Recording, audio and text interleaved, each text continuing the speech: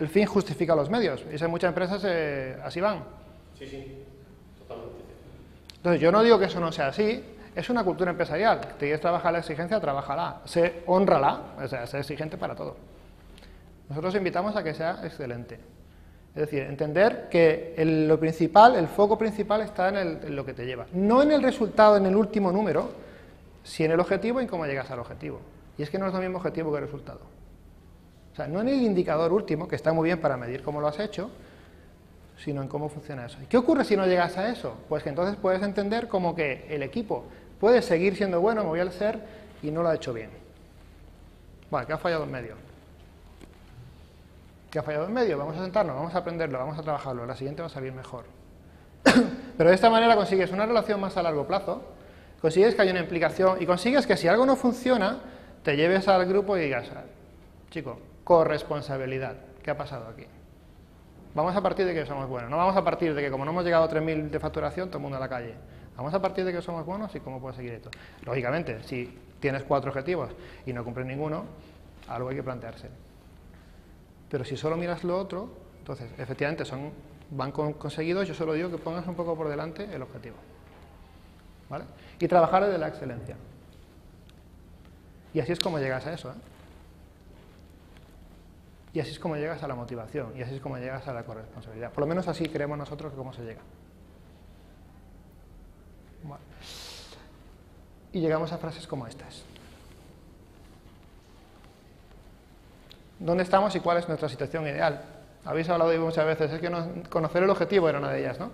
No sabemos ni cuál, ni dónde queremos ir. Cada paso nuevo es un aprendizaje dentro del grupo. Y luego la forma de trabajar, cuando tú estás alineado con la forma de trabajar, y eso se nota, tú llegas a empresas en las que, no quiero poner nombres, pero tú llegas a empresas en las que dices, madre mía, y esta gente representa a la empresa que sea, y no hay, no hay entre la imagen corporativa que te da una empresa y los empleados no hay ni, pero ni- ni un punto en común. Y hay otras empresas en las que dices, sí. O sea, tú vas a IKEA y el personal que te atiende en IKEA es IKEA. Porque IKEA se desvive por trabajar esto. Y vas a otros sitios en los que así, bueno, mi compañero, el jefe, así, bueno, ¿cuántos restaurantes hay así? ¿Vale? Entonces, por ir cerrando, quiero llevar lo que hemos hecho hoy a lo que llamamos a las empresas. Nosotros trabajamos tres campos. Uno es el lenguaje, otro es el campo emocional, lo que hemos hecho un poquito de, de estar pendiente, de estar escuchando, de estar con la otra persona, de, los tonos de voz, esa es eh, la, otra pregunta. Y luego la psicografía, el hecho de trabajar de esta manera y el hecho de trabajar con la otra herramienta. Todo eso, nosotros con esos tres sistemas son los que trabajamos, ¿de acuerdo? Y eso es lo que, de hecho, como coach, es lo que aprendes a trabajar desde CoreOps. Y para irme al tema de herramientas, hay muchas herramientas que miden este tipo de cosas y que miden lo que estamos haciendo aquí. Y son sencillitas.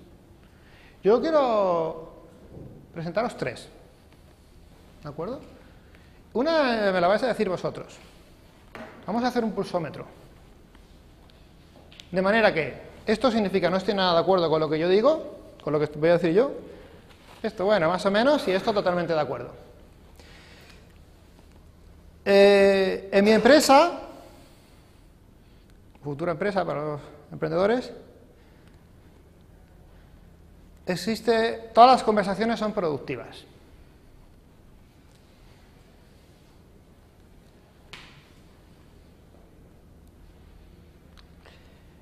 En mi empresa, la gente está motivada a tener reuniones.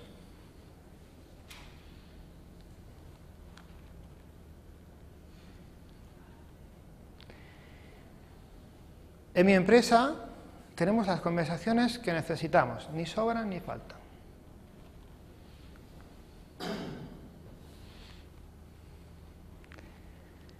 En mi empresa los roles están, los roles, las competencias y los, y los objetivos están claros y no hace falta comunicarlos más. No, hace falta comunicarlos más.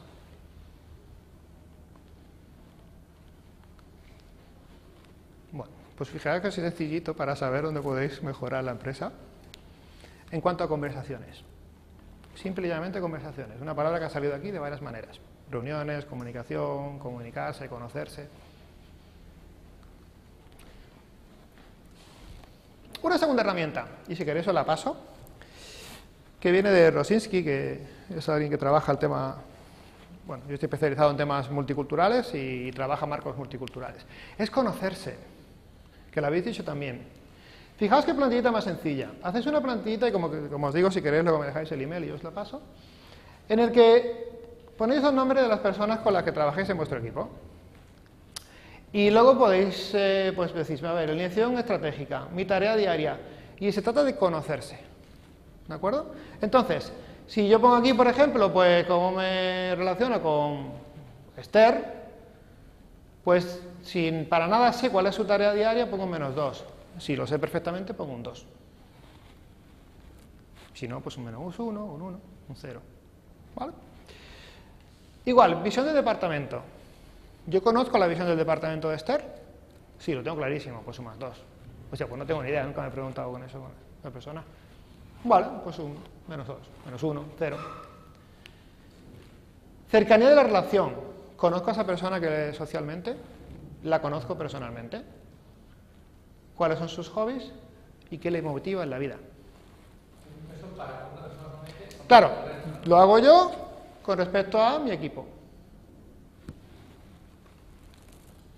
Y de ahí decido en qué área quiero trabajar y declaro alguna acción. Pues mira, no tengo ni idea de los hobbies, pero es que me voy a acercar un día y le voy a preguntar qué hobbies tiene. Pues sí sé que va al colegio con mi, con mi hijo y compartimos el mismo colegio, pues un día me voy a acercar y vamos a recoger a los niños juntos y charlamos. O simplemente no hago nada, no quiero. ¿Vale? Esto no más que conocerse. Es una herramienta solamente de conocerse. ¿Hay realmente beneficios en hacer esto y intentar que todos sean más dos? ¿Qué crees? muchas de estas cosas. ¿De qué va a depender la respuesta a eso? ¿De qué puede depender la respuesta a eso? A lo que yo pregunto. Hmm. Yo estoy pensando que muchas de estas metodologías parecen muy bonitas, hacen mucho ruido, pero después se hace un estudio clínico con método científico tal y cual, y en realidad no es relevante. Vale. Pues ya está. Si tú en tu equipo no, no entiendes que eso no es relevante. No lo sé, no sé, porque yo no lo he aplicado nunca, no sé Depende de los equipos, es que depende de los equipos. Es un equipo solamente multifuncional de ta ta ta ta ta, ta, y no necesita conocerse porque entre ellos no hay interacción, no. Ahora, si entiendes que eso puede llevar a más motivación, a más compañerismo, pues igual sí. Y tú puedes definir de qué áreas. La experiencia a mí me dice que sí. De hecho, os presento la siguiente herramienta, es una herramienta que trabajamos en CoraOps y es una herramienta que se llama EFO, que es entenderse, fluir y observarse. Entonces, es un cuestionario anónimo que se rellena en el cual eh, se trabaja una parte que es la forma de cómo se entiende el equipo, cómo funciona, qué, canales de comunicación hay, cómo, se establecen, cómo, pues eso que tú dices, ¿es necesario o no es necesario que haya más conocimiento? ¿Vale? ¿Cómo se, cómo, ¿Cómo se entiende, cómo funciona? Es la inteligencia del equipo que se dice. La segunda parte es la forma de fluir, es cómo fluyen las cosas en el equipo. ¿Qué ocurre cuando a una persona le cortan o lo echan? Y cómo impacta eso en el equipo.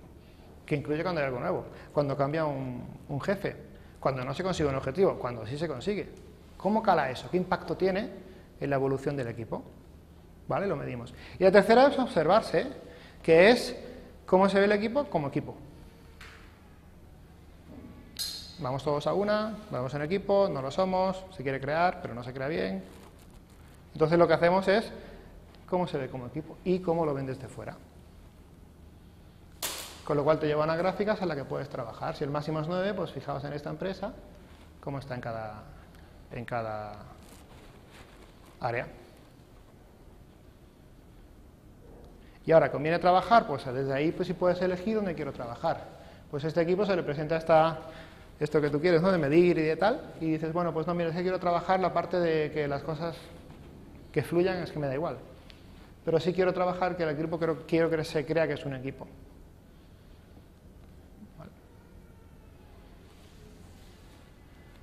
Pues esto es como tal. Y como me gustaría dejaros algo más, si alguien quiere que esto se lo haga a, una a vuestra empresa, os invito a que con ese código os lo hacemos gratis. Siempre y cuando, o sea, esto se ofrece a gente que ya ha pasado por alguna forma por cierto interés por crear un equipo.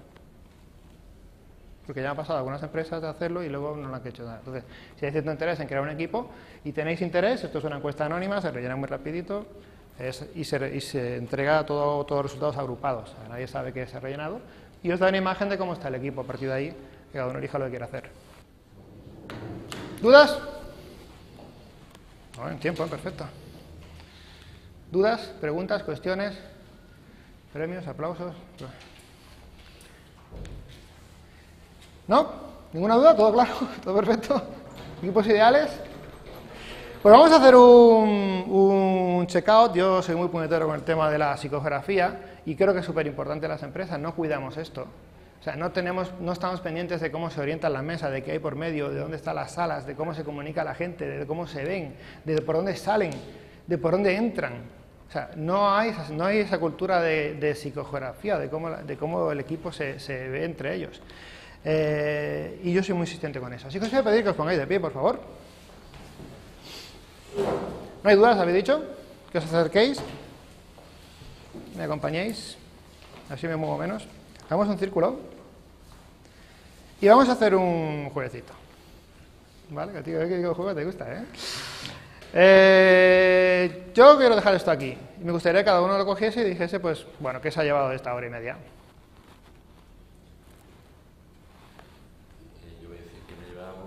Te perdona, y vuelves al, para no dar la espalda a nadie.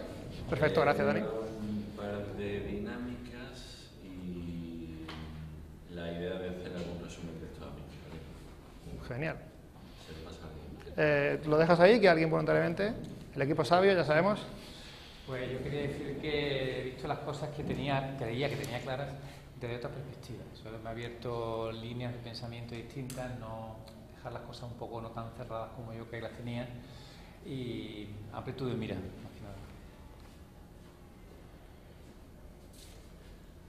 Yo diría que me he empapado de digamos, toda esta idea, pero sí que eh, estoy un poco de acuerdo con, con, Luis en que también el proceso, proceso de selección es muy importante, porque todo esto también depende muchísimo de, de las personas que forman el equipo. Pues eh, yo he visto eh, una lista de de tareas para, ayudar a casa, a, mi equipo, y muchas de ellas tienen en, cuenta la relación de competencias que hay. Algunas palabras que han salido de ustedes de experiencias anteriores y probablemente, pues volviendo al pasado, ¿no? Back to the, del future, pues me ha vuelto a, a ver cosas. Yo me llevo sobre todo competencias para desarrollar cosas del equipo. Yo este recordatorio de ideas que ya tenía y renovadas y, y puntos de vista diferentes. Pues yo me llevo mucho conocimiento, muchas ganas, mucha ilusión de ponerlo en práctica y sobre todo mmm, el refuerzo de las ideas que yo tenía al principio que, que sí, que es lo que yo pensaba y, y me llevo eso. Yo que, que haya un grupo que no se conozca y que si trabaja y al final coopera, pueden salir las cosas con las cosas que hemos hecho aquí en los triángulos. Eso, Al final siempre salen las cosas. Muchas gracias. Todos habéis hablado, ¿no? Perdón. Eh, creo que es un poquito más crítico. Mm, se ha hablado de muchos conceptos que están en general bien. Me lleva un poco la idea de que cierto que